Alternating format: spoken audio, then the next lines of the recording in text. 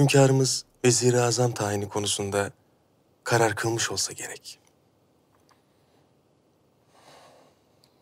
Muhtemelen paşam. Devlette devamlılık esastır. Sadaret makamı uzun müddet boş kalamaz. Size hayırlı olsun demek isterdim. Lakin bu pek mümkün görünmüyor. Şehzade Bayezid'e olan sadakatiniz hünkârımızın da malumu. Beni kendinizle karıştırmayın paşam. Ben herkesten evvel hünkârımıza sadakatle bağlıyımdır. İlaveten şehzadeler arasında tercih yapmak bizlerin haddi değildir. Öyle mi? Rüstem Paşa ile birlikte Şehzade Mustafa'nın kanına girdiğin günü ne çabuk unuttun paşa. Boşuna heveslenme. Destur! Sultan Süleyman Han Hazretleri!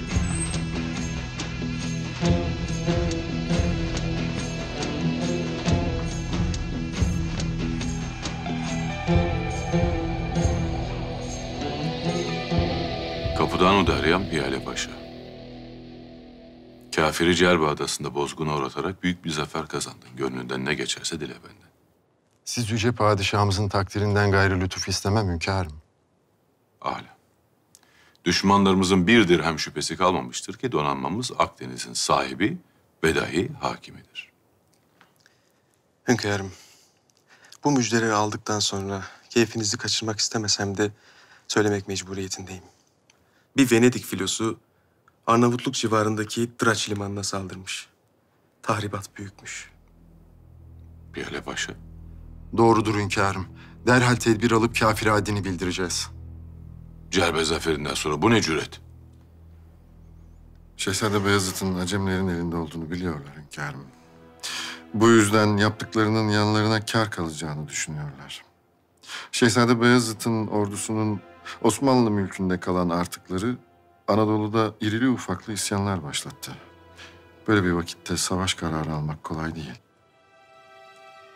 Bu mevzu bilahare istişare edeceğiz. Lakin hepinizin malumu olduğu üzere sadaret makamı epeydir boş. Allah rahmet eylesin. Merhum Vezir-i Azam Rüstem Paşa'nın nice kıymetli hizmetleri oldu. Onun gayretkeşliği sayesinde hazinemiz ziyadesiyle dolu. Devletin nizamı yerinde Allah'a şükür. Nizamın aynen devam etmesi elzemdir. İmdi. Bu sebeple Ali Paşa, silsile-i meratip gereği seni Vezir-i Azam tayin ediyorum. Hayırlara vesile olur inşallah.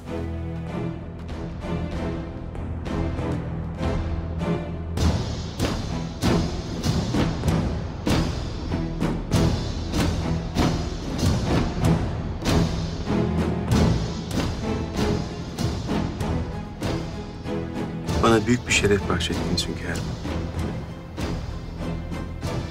İnşallah devlet-i aliyenin bu yüce mührünü layığıyla taşırım.